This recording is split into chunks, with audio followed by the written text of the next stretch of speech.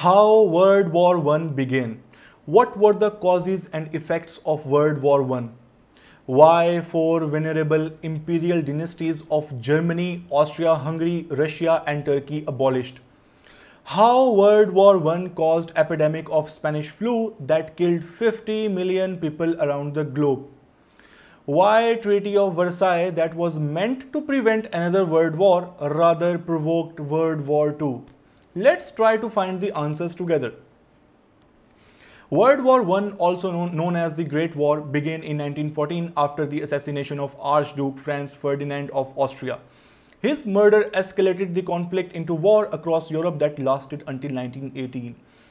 During the conflict, the Central Powers, Germany, Austria-Hungary, Bulgaria and the Ottoman Empire fought against the Allied power consisting of Great Britain, France, Russia, Italy, Romania, Japan, and the United States of America. Due to new military technologies and the horrors of trench warfare, World War I saw unprecedented levels of annihilation and decimation. Life in trenches was horrific. There were rats, dirt that consequently spread disease which killed more people than direct fire. Young lieutenant wrote to his mother that I haven't been killed yet, but it is a matter of time. By the time the war was over and the Allied power claimed victory, more than 16 million people, soldiers and civilians were dead. Let's see which incident ignited the full-scale war. Tensions had been brewing with throughout Europe, especially in the troubled Balkan region of Southeast Europe for years before World War I actually broke out. A number of alliances involving European powers, the Ottoman Empire, Russia and and other parties had existed for years, but political instability in the Balkans, particularly Bosnia, Serbia and Herzegovina, threatened to destroy these agreements.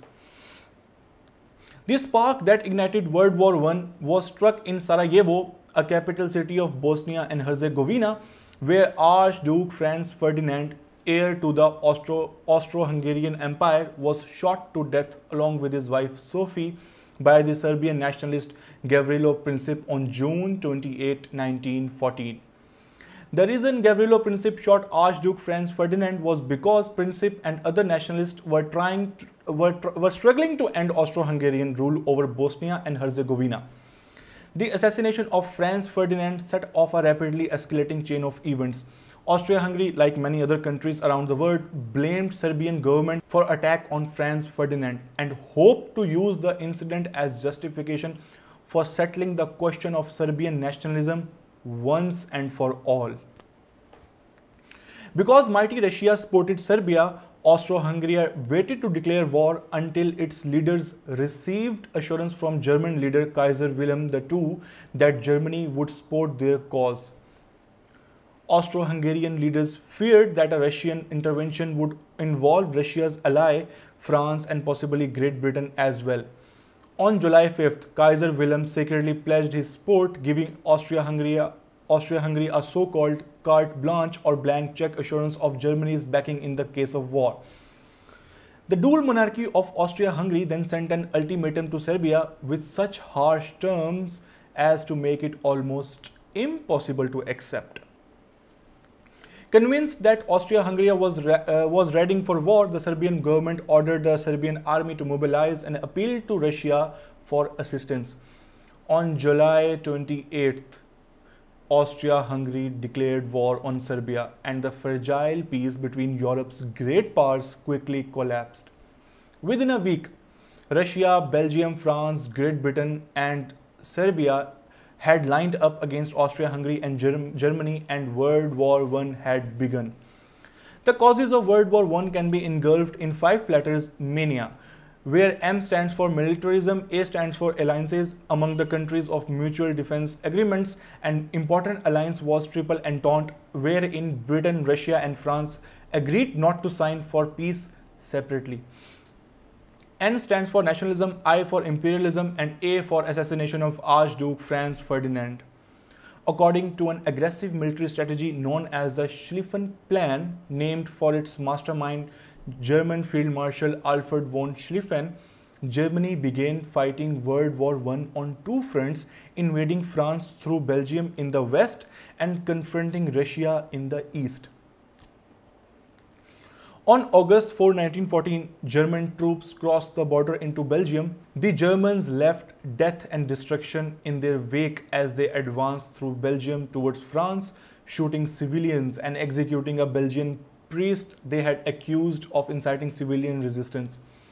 The Battle of the Somme, which took place from July to November 1916, began as an Allied offensive against German forces on the Western Front and turned into one of the most bitter and costly battles of World War I. British forces suffered more than 57,000 casualties, including more than 19,000 soldiers killed on the first day of the battle alone, making it the single most disaster, disastrous day in that nation's military history. By the time the Battle of the Somme, sometimes called the First Battle of the Somme, ended nearly five months later, more than 3 million soldiers on both sides had fought in the battle and more than 1 million had been killed or wounded.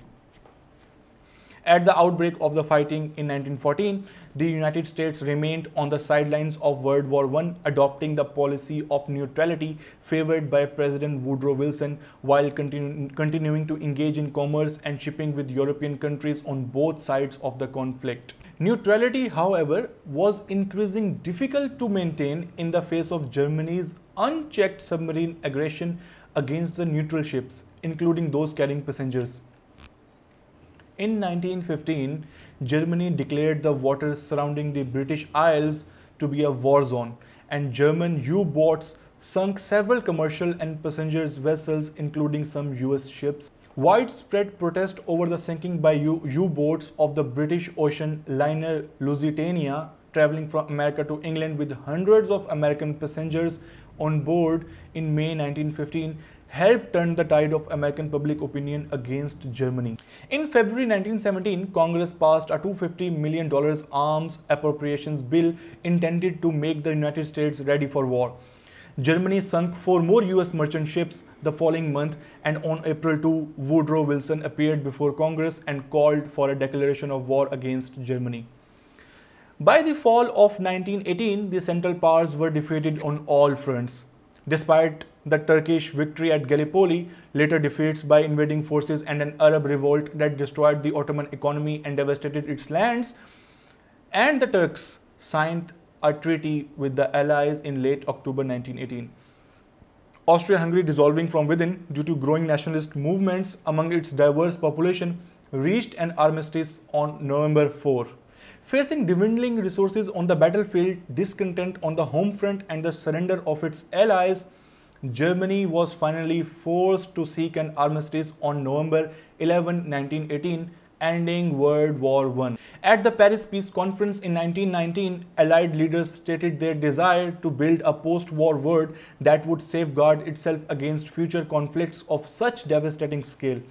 Some hopeful participants had even begun calling World War I the war to end all wars. But Britain and France wanted revenge of the loss incurred by World War I. Thereby, it took six months to draft Treaty of Versailles, which was eventually signed on June 28, 1919, that imposes heavy reparations on Germany. Besides, Germany was not even in, eh, not even invited in the peace process. War guilt, heavy reparations, and denied entrance into the League of Nations, Germany felt tricked into signing the treaty, having believed any peace would be a peace without victory, as put forward by President Wilson in his famous 14 point speech of January 1918. As the years passed, hatred of the Versailles Treaty and its authors settled into, the, into a smoldering resentment in Germany that would two decades later be counted among the causes of the World War II. World War I took the lives of more than 9 million soldiers 21 million more were wounded. Civilian casualties numbered uh, close to 10 million. The two nations most affected were Germany and France, each of which sent some 80% of their male population between the ages of 15 and 49 into battle. The political disruption surrounding World War I also contributed to the fall of four venerable imperial dynasties Germany, Austria Hungary, Russia, and Turkey. World War I brought about massive social upheaval as millions of women ent entered the workforce to replace men who went to war and those who never came back. The First Global War also helped to spread one of the world's deadliest global pandemics, the Spanish flu epidemic of 1918, which killed an estimated 20 to 50 million people. The reason it was called Spanish flu because every country involved in war was censoring information about the death, deaths caused by uh, Spanish flu because they wanted to portray huge manpower to their enemies. Hence, Spain was the only country that was not censoring information about deaths caused by Spanish flu. Therefore, it was named Spanish flu. World War I has also been referred to as the first modern war. Many of the technologies now associated with the military conflict, such as machine guns, tanks, aerial combat, and radio communications, were introduced on a massive scale during World War I. The severe effects that chemical weapons such as mustard gas and phosgene gas had on soldiers and civilians during World War I galvanized public and military attitudes against their continued use. The Geneva Convention Agreement signed in 1925 restricted the use of chemical and biological agents in warfare and that remains in effect even today. What do you think about the outcome of World War I? Do share your opinion in comment section.